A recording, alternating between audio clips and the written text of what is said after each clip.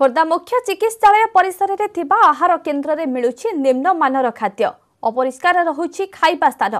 ପରସା ଯାଉଛି ଟାଣ ଭାତ ଯାହାକୁ ନେଇ ଅସନ୍ତୋଷ ବଢ଼ୁଛି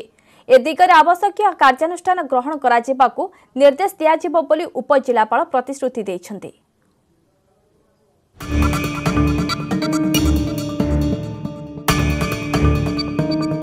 ଜନତାଙ୍କୁ ସୁଲଭ ମୂଲ୍ୟରେ ଖାଦ୍ୟ ଯୋଗାଇ ଦେବା ପାଇଁ ରାଜ୍ୟ ସରକାରଙ୍କ ପକ୍ଷରୁ ଖୋଲାଯାଇଛି ଆହାର କେନ୍ଦ୍ର ମାତ୍ର ପାଞ୍ଚ ଟଙ୍କାରେ ମିଳୁଛି ଭାତ ଓ ଡାଲମା ବିଶେଷକରି ମେଡିକାଲ ବସ୍ଷ୍ଟାଣ୍ଡ ପାଖରେ ଖୋଲାଯାଇଛି ଆହାର କେନ୍ଦ୍ର ଖୋର୍ଦ୍ଧା ମୁଖ୍ୟ ଚିକିତ୍ସାଳୟ ପରିସରରେ ଥିବା ଆହାର କେନ୍ଦ୍ରରେ ଖାଦ୍ୟର ମାନ ଖରାପ ଥିବା ହୋଇଛି ଅଭିଯୋଗ କେବେ ପାଣିଆ ଡାଲମା ତ କେବେ ଚାଉଳିଆ ଭାତ ପରସା ଯାଉଥିବା ନଜରକୁ ଆସିଛି ଫଳରେ ଲୋକେ ଏହାକୁ ନ ଖାଇପାରି ଫୋପାଡ଼ୁଛନ୍ତି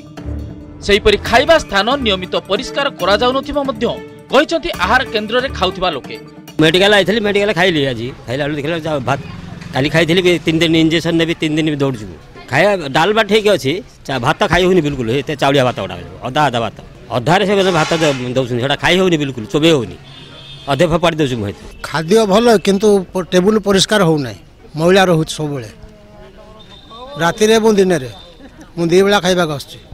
ভাতটা টাণ বহুত জোর হচ্ছে তরকারি ঠিক অছি কিন্তু ভাতটা টাণ বেশি হচ্ছে আহার কেন্দ্রকু অক্ষয় পাত্র ফাউন্ডেসন খাদ্য যোগাউথিবা বেলে খাদ্য পরশিবা দায়িত্ব খোর্ধার এক এসএচজি কু দিয়াযাইছি তেবে অবহেলা পাই কার্যানুষ্ঠান গ্রহণ করিবাকু পৌর পরিষদ কার্যনির্বাহী অধিকারীଙ୍କୁ নির্দেশ দিয়াযাইছি বলি সূচনা দিয়েছেন খোর্ধা উপজেলাপাল ଏହା ଉପରେ ଆବଶ୍ୟକ କାର୍ଯ୍ୟାନୁଷ୍ଠାନ ଗ୍ରହଣ କରିବା ପାଇଁ ଆମେ ନିର୍ବାହୀ ଅଧିକାରୀ ଖୋର୍ଦ୍ଧା ମ୍ୟୁନିସିପାଲିଟି ଆଉ